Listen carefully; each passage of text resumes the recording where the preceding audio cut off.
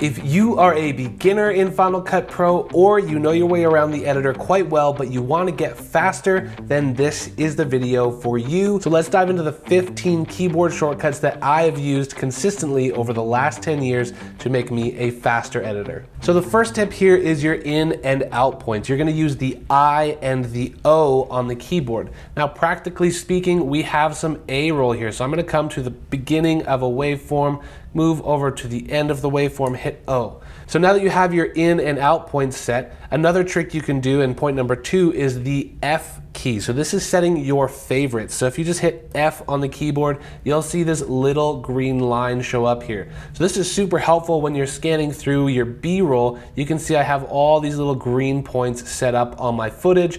This is footage that I can use. So next time when I come into the editor, you come up to this little spot here, dive into your favorites and it's only gonna have your favorite B-roll selected. This keeps you from having to cycle through your footage all the time to find the footage you like. This is all the good stuff right here. Once you have your favorite clips selected, we're gonna come up here and we wanna drop our A-roll down onto the timeline. So there's three ways you can do that, and that is with the Q, the W, and the E key. They all do different things. So the E key drops your clip at the end of your timeline. So if I hit E again, it's gonna drop it again at the end.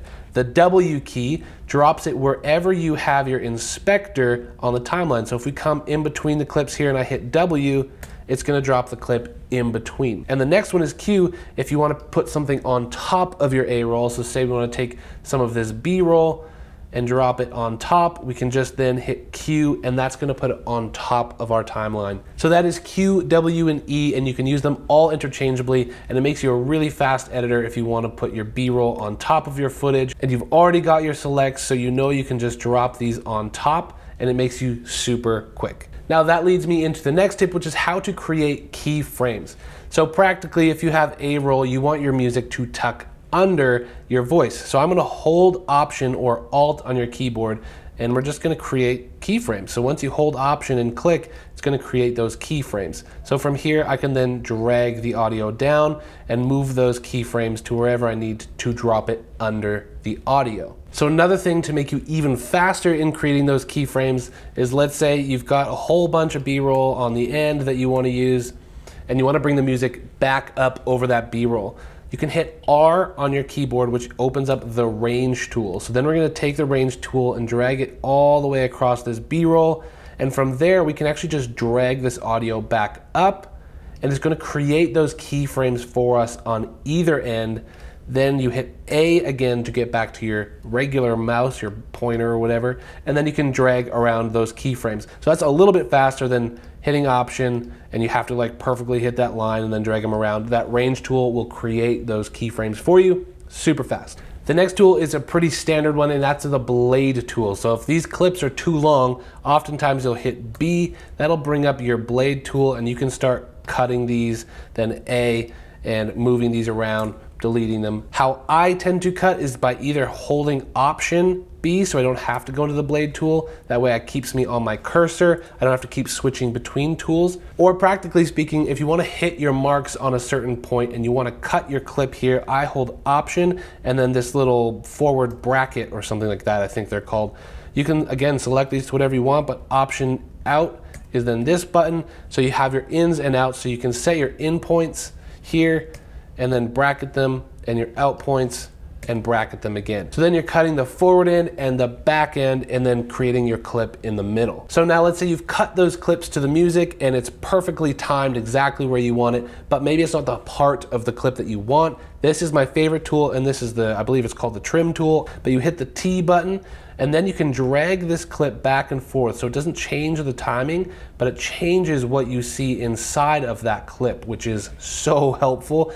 And your timing stay the same and you can just move these clips back and forth as you need. And as you can see, it splits it up into two screens so you can see what's happening at the in point and what's happening at the end point of that clip. Now, one of the features in Final Cut Pro is the magnetic timeline. So you drop a clip on and you want it to align perfectly with one of these clips. You can see that that yellow marker comes up and that is it magnetizing to a certain clip. But there's also a lot of times that you don't want any of these clips to magnetize. So what you do is you hit N and this unsticks the magnetic timeline and then you can drag it wherever you want click N again, and then it will magnetize to wherever you want it to magnetize to. So as I'm just kind of fiddling around with the footage here, I'm coming up with even more tips. So I hope you guys have a pen and paper and are writing these down.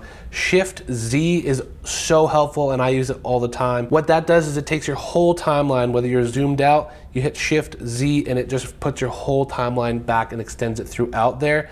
Command minus will make your timeline shorter and Command plus will expand it based on where your key is. So if it's there, it's gonna zoom in there. If it's over here, you're gonna zoom in over there. So wherever you have that placeholder is, that's where it's gonna zoom in. Then Shift Z will open it back up to the whole timeline and give you an overview. So in regards to moving around your timeline quickly, if you use these left arrow keys here, this is gonna move your selected clip left and right accordingly. And if you hold Shift and use these buttons, it's going to move it 20 frames. So that's how you can delicately move clips around or quickly shift and move them over if you need to move them over delicately. This just keeps you from having to drag. And if you want to move it magnetically and then just move it a couple frames over, that's another way to do it as well.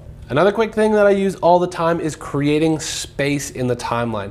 So the way that it is set up in Final Cut Pro is Option W, and that will create a little space in your timeline here if you want a break underneath your B-roll, for example, and you just want to push some stuff around, you can do that by creating Option W.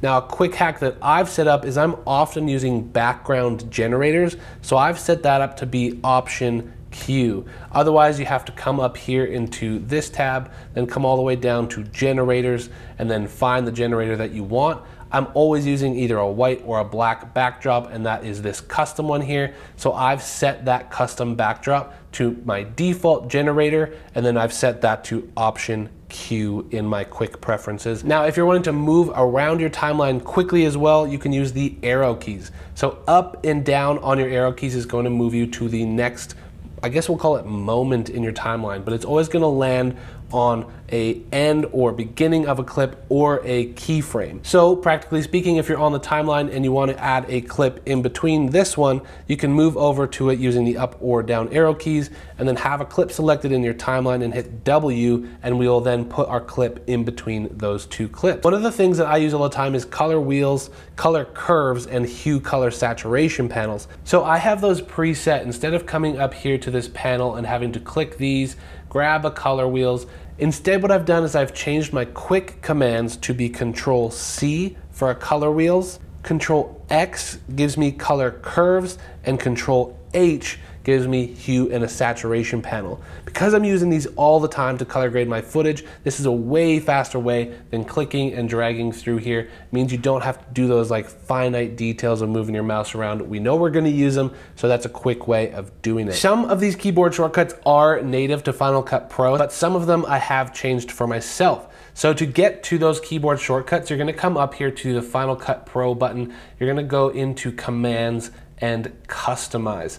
So from here, you can actually learn all of the already set keyboard shortcuts, but for the few of them, we're gonna adapt and change them ourselves, and this is the panel in which you wanna do it if you wanna change your custom keyboard. And as you find the tools that you use the most in Final Cut, I highly recommend coming in here and adapting your keyboard to make it easier for you and get faster. Another way that I've gotten faster in color grading is because I'm using the same camera all of the time, I've got a preset for Vlog to Rec 709. It has my custom LUT already attached for Rec 709 and the Lumix and my color wheels and color curves that I often use. Then you just can quickly dive into these things and correct the colors as you need with your camera. So to create those, you just save effect presets once you have those dialed in. I think I've given you guys a lot more than 15 tips here. So if there was a lot there, make sure to go back, grab your notepad and write these down or just play through the video again because that helps the YouTube algorithm. So speaking of which, if you did enjoy this, if you learned something new,